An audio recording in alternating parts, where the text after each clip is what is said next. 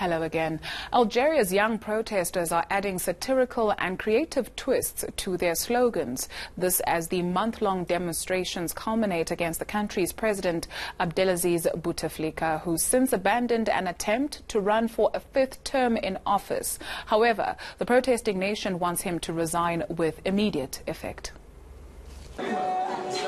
protesters preparing the banners ahead of demonstrations against President Abdelaziz Bouteflika's rule.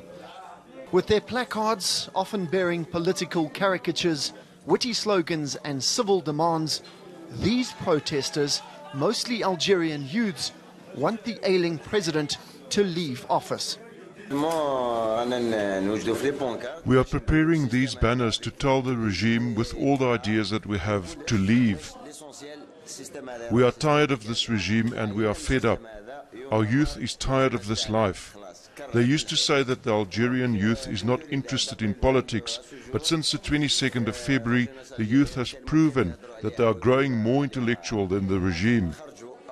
Right, let's expand on that. A number of countries on the continent held elections in recent history. The winds of change blew in the Democratic Republic of Congo late last year.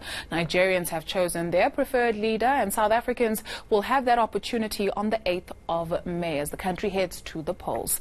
Elections have become a big part of our democratization as a continent, but does democracy work on this African continent? To help us unpack this is Mr. Vusumuzi Sibanda, chairperson of the Africa Dialogue Diaspora Forum. Thank you very much for joining us on the program. Always a great pleasure to have you with us. Thank what is the state of democracy on this continent if we were to assess? Well, look, um, I think it's a shame. I mean, maybe to say the least, because the principles of democracy basically say that um, you know people should be able to choose their leader, you know, without um, any fear, you know, or fear that there'll be retribution if they chose in any other way, and that um, the democratic, you know, principles, you know, include having an independent electoral body, you know, courts that are independent from mm. the from, from, from, from the executive, and we talk of the principle of the trias politica that says the executive, the judiciary, and the legislature are free of each other. But what we see in Africa, and which is more practical in the bulk of the African countries, is that the executive you know, by extension, is in charge of the legislature and is also in charge, you know, of the judiciary. So at the end of the day, we have got the president running the country, you know, without any checks and balances. Mm -hmm. Now, what it means is that then you have got uh, the president almost appointing, you know, the independent electoral, you know, commission. I mean, like you mentioned, what happened in Nigeria, where the, you know, uh, what do you call it, INEC, you know, decided to postpone the elections, you know, last minute. We saw that happening in DRC, mm. and you want to ask yourself, who was the beneficiary of that. If that was not benefiting the incumbent, you know, president, or even in the change that happened in DRC, which we almost think that that change, because in any case, Kabila was not supposed to stand.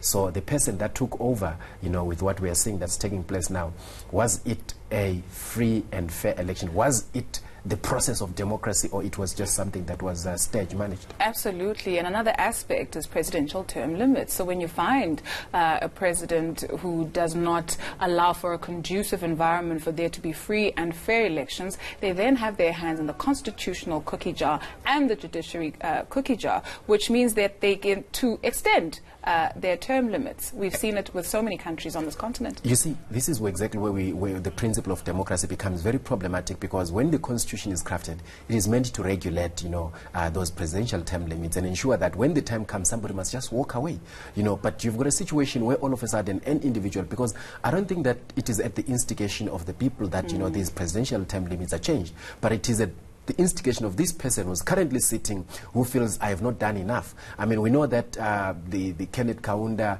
you know, uh, many years back, they did speak about, you know, the presidential term limits that, mm. no, this is not right because when I have not even begun to do what I want to do. Mm. But we, we've got presidential term limits. I mean, in life, we've got examinations. You write an examination, you can only write it in a given period of time. Mm. If you don't, you have failed. Mm. So who is this person that says, I want to have 20 years, I mean, as a president, when the country has got 14 million people, South Africa has got 57 million, I mean, Nigeria has got how many millions? So why does somebody think that they are so special that, you know, when their term comes to an end, they, they, they, they shouldn't go? In any case, you, your first term is supposed to be four or five years. When people feel that they're not happy, you failed in the first term, you must just go mm. and not complain. How do we then reimagine how we are governed on the continent? I think um, I, I, always want to refer to Geraldine Caden's, you know, uh, quote where he says, "Look, uh, every people, you know, gets the government that they deserve. If people, you know, allow themselves to be blackmailed and mm. abused by their leader, then you know they're going to get, you know, such bad leaders. But if people are inquisitive, if people are on the mark, you know, about the issues that relate to their governance, and they say, look, this is not what we want, you know, people begin to speak out and not sit down and say, ah, well, it's fine, let's just leave it the way it is. Then, you know, our democracy is not going to change. Are we not? Though, um, as, as citizens of this continent, you take a look at what's happening in Algeria, and subsequently, we're still none the wiser as to when the election there will happen. Mm -hmm. You take a look at the resistance that has been rising in Uganda as well. So you do find that citizens are speaking out, but there's no ear to listen. That is very true. I think this is where now we are saying, you know, when you look at the trend in Africa, you know, that we have got regional bodies, you know, that are gatekeepers, you know, of these, you know, uh, political leaders, and they tend to protect these people. You've got, mm. you know, so many people dying in these countries, mm. you know, uh, because of, you know, uh, the, the, the, political violence or because people are, are, trying to resist, you know, the manipulation of the laws. And then you've got your regional bodies, your SADC, mm. your ECOWAS, your AU, sitting down and not saying anything because the lives of people don't really matter. But when we get to a point as Africa, when we say, when we talk in terms of principles of democracy, we are saying once a leader, you know, says they want to change the constitution or their people, look at uh, what happens in, in, for example, in, in Western countries. If about 100,000 people, you know, sign a petition, they want something changed, people stop and listen and say, okay, the populace has spoken. But here, you know, we can go on the streets, we get shot every yeah. every day. Nobody says anything. Yeah. And we will also have our leaders going to those countries, like we have seen our president here in South Africa going to Zimbabwe, you know, sitting down, sipping some coffee and saying, oh, well, look, ZANU-PF, you are good friends. But people are being killed. And you don't blame those leaders. Mm. So I think we need to get to a point where when people speak about something that they're not happy with, we get the re regional leaders, you know, standing up and saying what is going on.